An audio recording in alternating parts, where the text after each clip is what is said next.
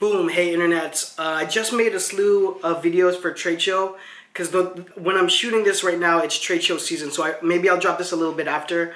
Doesn't matter. Doesn't matter. Um, so really quick, I just wanted to address when when do you get a trade show booth for the trade show?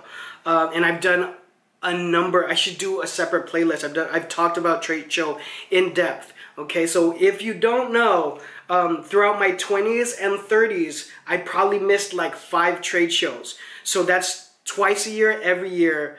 Um, actually, since before I was 21, I think the first trade show I went to, I was like 19. Um, couldn't even legally drink. So Vegas, spring and fall, two years every year. I maybe missed six. That's why I don't go. I don't go to the trade show anymore because I, I mean, it's always good to network, but I don't need to network anymore um, because of YouTube. I have tons and tons of consulting that I have to turn down, um, consulting and design work. In any case, in any case, um, so Sasha Minks um, and uh, Sasha subscribed, I think, on the first video that she watched. I think that's what she's saying. So thank you, Sasha. Um, this one is to you. She's saying her question from another video that I did about trade show is um, so you're saying don't get a booth until you have brick and mortar retail, and I, I just wanted to be very clear. Um, still, as this is post dating, brick and mortar is they're going through their issues. Okay, so um, many smaller mom and pop retails, anything that has less than three doors, is really trying to figure out how to how to keep things going. Okay, um, it's a very weird time right now because fashion is continuing to get interrupted. It's not fully interrupted. Who knows when it's going to get, it's going to stop being interrupted.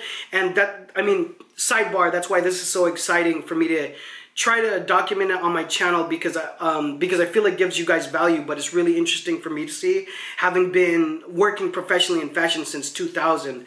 Um, so, because retail, like brick and mortar retail, is really in a crazy spot right now. Um, I wouldn't rely on them uh, by a large amount. You know, it should be part of what you want to accomplish. But listen, we just want to move product. So having your own uh, e-commerce, having your own Shopify site, definitely something you need to have. Definitely something you need to have. Um, selling your own e-commerce is like standard now. I mean, the days of people not doing that and saying, "Oh, I'm gonna have whatever online," I was gonna say Karmaloop, um, but at the, at the point when you're watching this, you you, you probably don't even know what Karmaloop is. Um, but Karmaloop used to be the biggest uh, distributor of, of, of, of, men's and women's streetwear.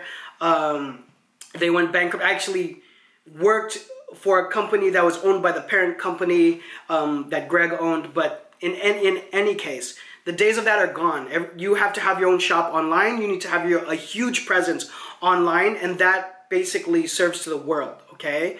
Um, now the reason I'm talking about that is because the real point is you want to move units. You want to move product. You want to make sure your your garments, your hats, your shirts, whatever they are, are moving, and they keep you keep trying to double and double and double the amount of need there is to fulfill orders. You want to be like anti-social social club.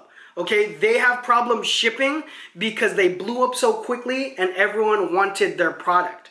Okay, and now they've taken the joke into um, as this is post dating. If you see some of their their last releases, they're making fun of it. So they have the sweater that says um, people love to read bad reviews, and so um, I mean it's it's it's awesome. Like basically they're saying we don't care that uh, you don't that you're pissed about the customer service because they can't supply the product fast enough. So they definitely, um, as a case study, have a coolness factor that's where they're growing at a crazy rate. So that company, like, like let's, let's take that for example. Do they need the trade show? I don't know. At some point, the trade shows hit them up and say, "Hey, can you are are you thinking about showing with us?"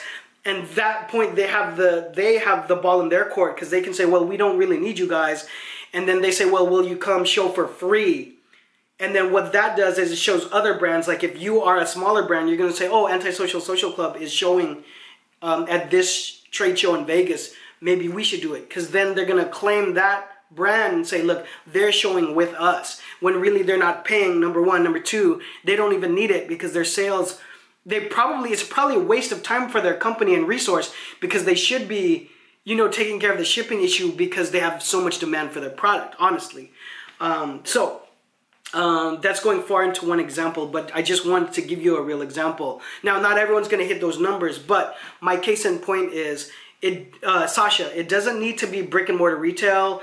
It's just however you're selling it. So you would want your company to do like half of the sales or more than half of the sales because you can control that outlet, number one. Number two, um, you get the full margin of the price, right? So if you have wholesale, you're going to sell that for half and so the end of what they double it for, you can sell your product so that you're not undercutting your wholesale. Um, if you're following me, okay? So you're not you're not going lower than your your than your retail guys that you're selling it for half the price, which is good for you because you keep the whole margin, you know. And then you you can play with online exclusives where you can offer that cheaper because you're not offering that to your retail. Okay, and when I say retail, it doesn't have to be brick and mortar. You can have several uh, online guys that that just distribute, right? So they just have a nice website and they distribute from like middle of America because it's cheaper and it's faster to get it to different places.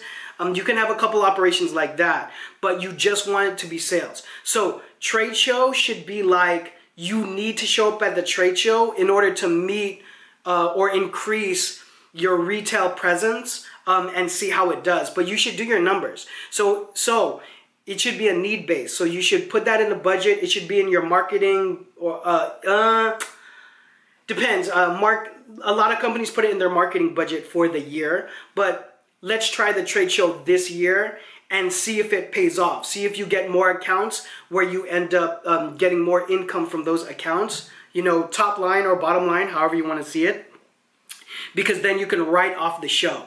But if you are a small brand, you have no accounts do not, do not buy a booth at your trade show.